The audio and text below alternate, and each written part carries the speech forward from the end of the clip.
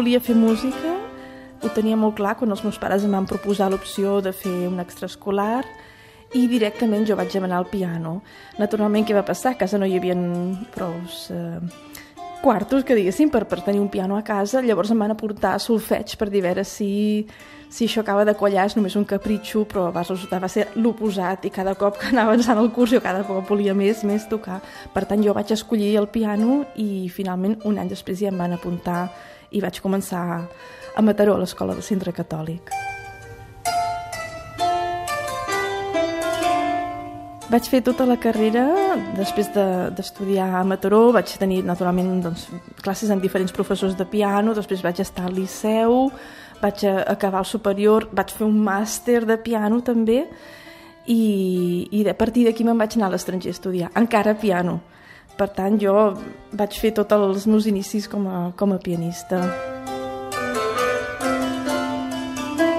I després, mentre era a, a Holanda, estava a l'AIA i va passar doncs, que va venir una professora a fer una masterclass de, amb el clavicimbalum i a mi em va encantar i allò em va agradar tant que en aquell moment va ser en qüestió d'hores que vaig decidir que volia fer uh, música medieval, perquè l'època medieval ja m'interessava molt, ja des de petita, tenia molt d'interès en, en, en anar a visitar uh, tant arquitectura com art, etc. Els meus pares també uh, els agradava molt, per tant, doncs, hi havia un ambient d'anar a conèixer, llegir, visitar exposicions, el que fos, tot de medieval, però clar, musicalment no, no havia tingut la manera d'accedir a aquest coneixement. I clar, quan vaig arribar en aquest punt que, ostres, existeix la possibilitat d'estudiar, doncs me'n vaig anar cap a Basilea. A Basilea estan molt centrats en els segles 14 i 15, sobretot 14, 15, 16, una miqueta de 13. Jo no estava interessada en l'època més tardana, medieval, sinó en l'època dels segles 12, 13, 11, 12, 13 i aleshores, com que allà em mancava aquest input, doncs clar, vaig haver d'anar a buscar en, en altres llocs i mm, va ser aquí que vaig conèixer el doctor Mauricio Molina, que justament està aquí a Barcelona, i, i amb ell he pogut aprendre moltíssim perquè és el, el seu, la seva especialitat.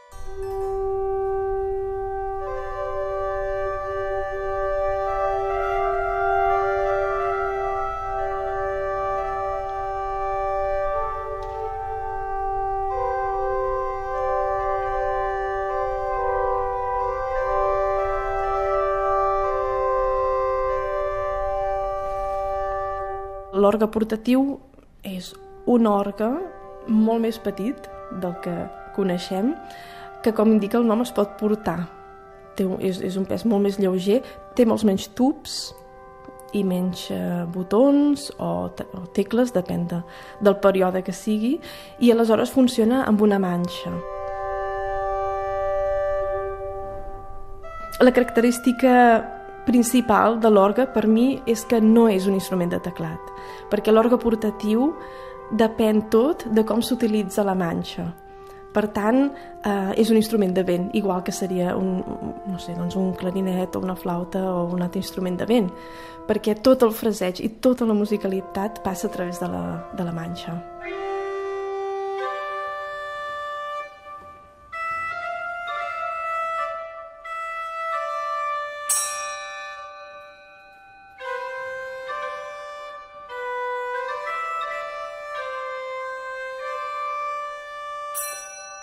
Vaig començar a buscar un orgue portatiu per al segle XIII.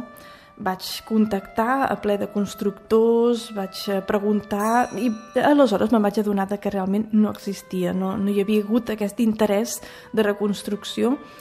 Per tant, vaig començar a fer una recerca, vaig estar més d'un any buscant tot tipus d'informació i per sort, en, real, en realitat, en tenim tantíssima, perquè hi ha instruments dels quals es troba ben poc, però d'aquests sí.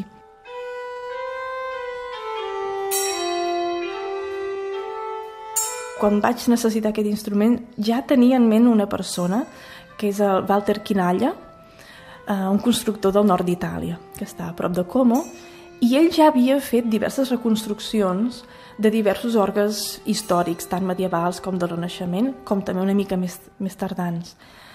aquest constructor tenia molt d'interès amb, amb el tema de la reconstrucció i jo veia que també, com que ell ja, ja ve d'una formació de físic, també tenia aquestes eh, sortides eh, filosòfiques de pensar sobre què està fent i per què i d'on venia. I això em va agradar molt, perquè eh, quan una persona es vol aproximar a l'època medieval, una de les primeres coses que cal fer i que és molt difícil és tàbula rasa, perquè nosaltres tenim tants conceptes i prejudicis sobre el que ha de ser o el que, el que hauria de ser que això ens fan no veure el que tenim al davant.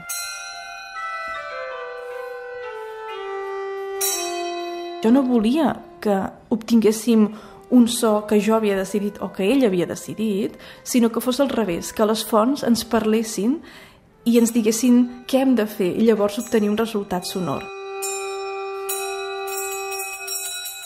Aquest orgue portatiu està fet eh, a partir del que s'anomena arqueologia experimental.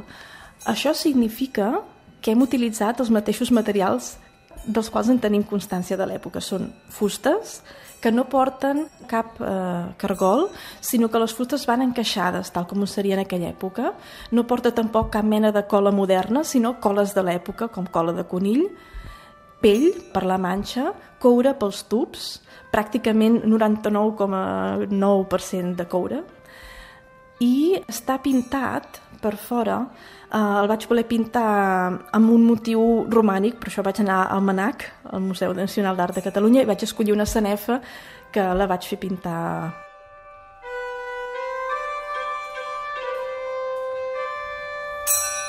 Jo, com a estudiant, tampoc no tenia una gran quantitat de, de diners per destinar a aquest instrument, que seria el meu primer instrument medieval propi, i per tant teníem només una opció, una, una possibilitat per fer un instrument correcte i que, i que ja funcionés i que jo hagués pogut utilitzar tant per als concerts com per donar cursos o el que fos.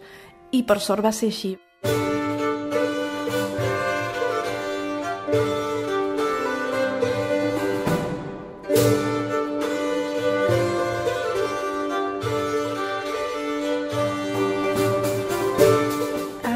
Orgue li vaig posar el nom, es diu naturalment Pitàgores. Uh, això una mica ve de que um, amb tota aquesta recerca de l'orgue i el descobrir tota aquesta grandíssima lligam que hi ha amb totes les proporcions i els nombres i tot el que signifiquen a l'època medieval, eh, me'n vaig adonar que realment eh, Pitàgores seria una figura importantíssima. I realment ha sigut així durant molts cursos sobre afinació pitagòrica, no només a la part pràctica, sinó també en tot aquest context estètic no? i tots aquests conceptes i convencions medievals. I, per tant, jo faig servir el meu orgue, Pitàgores, per demostrar l'afinació pitagòrica.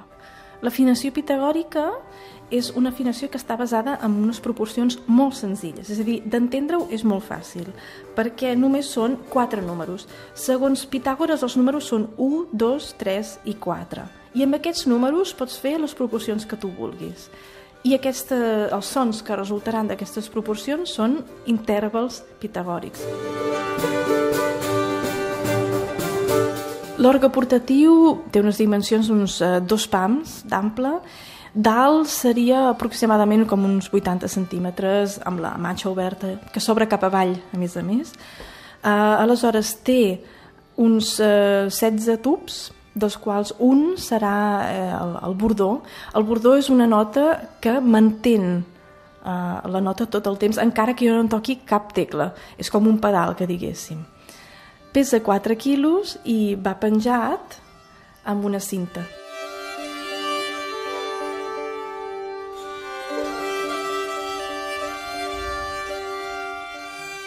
Una altra de les característiques és que és diatònic. Això vol dir, mm, perquè us feu una idea, si mireu un teclat, eh, els teclats tenen tecles de dos colors, eh, en un piano mm, les blanques són les més grans, doncs diguem que tenim aquestes tecles blanques i d'alteracions només n'hi ha dues. Un és el si bemoll, que això està, surt a tots els monocors i totes les explicacions de, de, de les escales medievals i a més a més vaig voler afegir el fa sostingut perquè eh, al segle XIII ja comencem a trobar bastantes peces que tenen el fa sostingut. És per això que no, no he eh, ajuntat cap, dels altres, eh, cap de les altres accidentals perquè no les necessitava, el repertori no les té. No són tecles, sinó que són botons perquè a la iconografia és el que veiem, veiem uns botonets que són més aviat o quadrats o rectangulars i ja és més endavant, cap al segle XV, que comencem a trobar orgues amb tecles eh, tal com avui les coneixem, a partir del 14-15. És una orca que només té un sol registre, és un instrument molt petitet que per tant com més registres més, més tubs hi haurien d'haver, en canvi només n'hi ha un i realment és suficient. Uh, quan alguna vegada he tocat a, en una església uh, i estic en un raconet tocant, entra gent mirant amunt, buscant un orgue enorme i m'han dit, ah, ets aquest aquí tan petit que sona tant.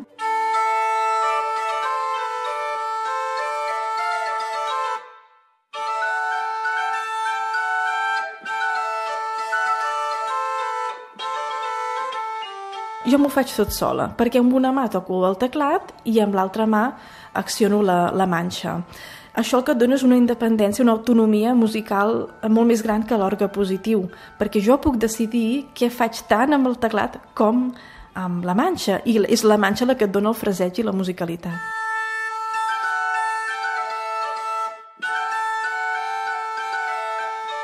La posició en realitat jo la trobo molt còmoda i poder estar dret realment em dona una satisfacció molt gran, perquè quan toco amb els meus companys, la major part d'ells toquen drets. I és una, trobo una mica llàstima haver-me de seure quan tinc un instrument tan petit com els seus.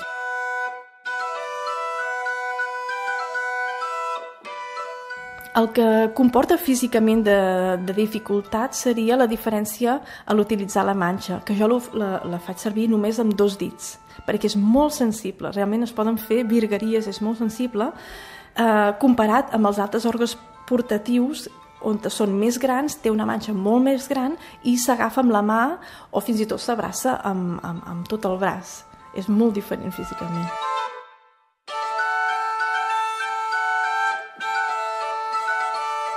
Aquest instrument és únic al món, és el, el primer que s'ha construït Després d'aquest no hi ha hagut gaire, gairebé ningú que l'ha demanat, em sembla que, que no hi ha cap altra còpia en aquests moments i també això té relació amb l'interès per tocar aquests repertoris, que és una mica rar.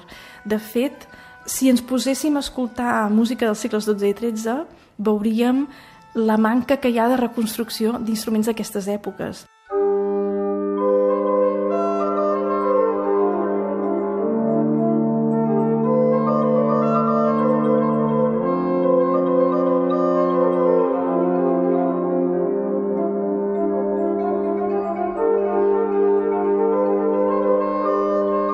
Jo personalment només tinc un instrument, que seria l'orgue portatiu del segle XIII, però en toco moltíssims més altres, tot el que serien orgues medievals, tant positius com portatius, també eh, instruments de, de corda, com ara el clavicímbalum i el claviciterium.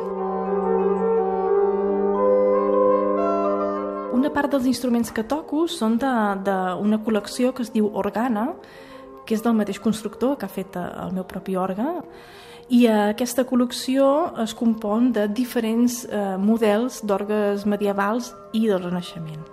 Aquest seria un d'alguns dels instruments que toco.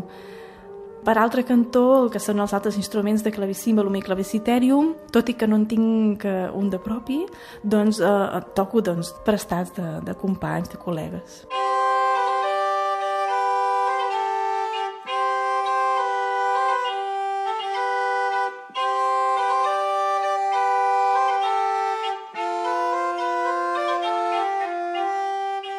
Jo sempre he mantingut el contacte amb el luthier que ha fet l'orga, en Walter Quinalla. Seguim en contacte perquè tenim més projectes en ment i, i espero que, que els puguem realitzar algun dia ben aviat.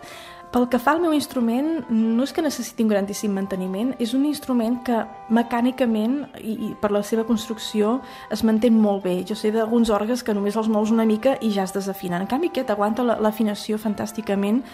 Comento això perquè per afinar els orgues tenim unes anelles al final, a, la part de dalt del tub, que es poden moure amunt i avall i així podem, els podem afinar.